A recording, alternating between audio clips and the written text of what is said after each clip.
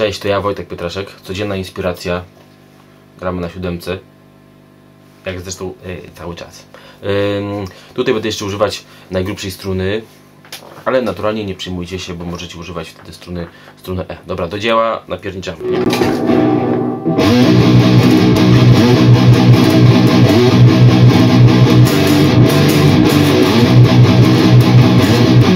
E, dobra, jedziemy. E, Tutaj akurat mam taki motyw e, dosyć może ciekawy, ciężko brzmiący, z racji tego, że tutaj struna jest e, mm, B, dodatkowa siódma. E, Naturalnie to można robić, zagrać też na, w normalnym stroju, jednak posłuchajcie jak tutaj to brzmi i jakby sam motyw, który akurat przed chwileczką wymyśliłem i mm, według mnie jest całkiem, całkiem ciekawy.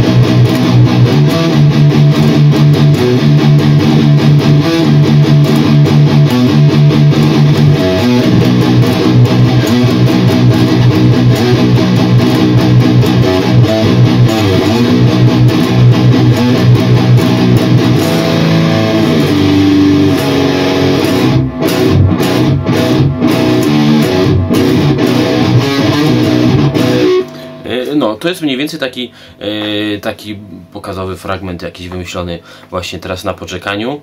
E, jednakże według mnie całkiem, całkiem przyzwoity. E, można tutaj zarzucić jedynie to, że jest dużo pustej struny, struny B, ale to jest można powiedzieć tak jakby podstawa tego riffu.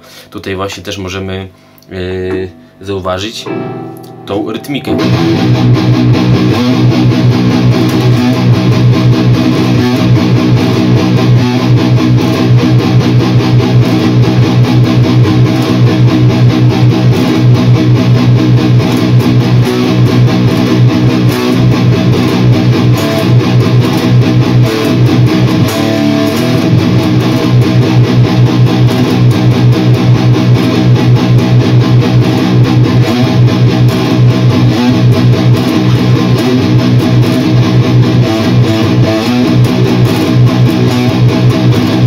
Jakby ten dźwięk pustej struny B jest cały czas jakby towarzyszy nam w tym motywie i według mnie on akurat jest fajny, bo tutaj też mamy tą rytmikę ty ty ty ty ty ty ty ty.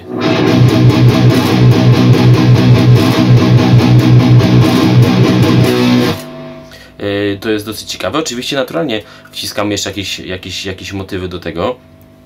Później na przykład właśnie takie jakby, można powiedzieć, refrenowe coś.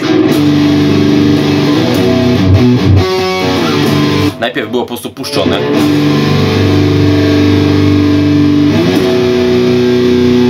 A później już izolowane poszczególne dźwięki, takie arpeggio.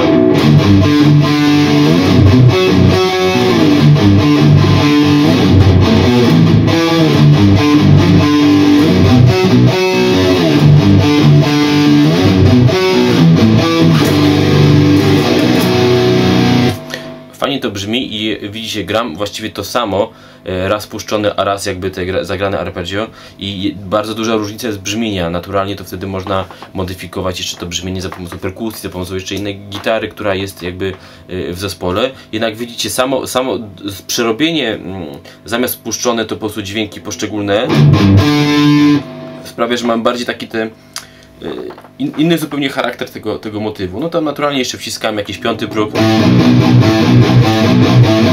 Jakieś, jakieś tercje, tercję, wiel- tercję wielką też wsadziłem.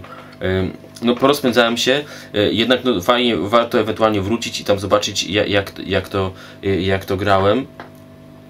Warto się też poinspirować. No, e, tutaj jest y, jedyna może, można różnica, różnica z tymi osobami, które mają normalnie standardową gitarę, że troszeczkę inaczej to brzmi ciężej. No jeśli na przykład spróbuję sam motyw zagrać na standardowym EA, na tych dwóch strunach cieńszych,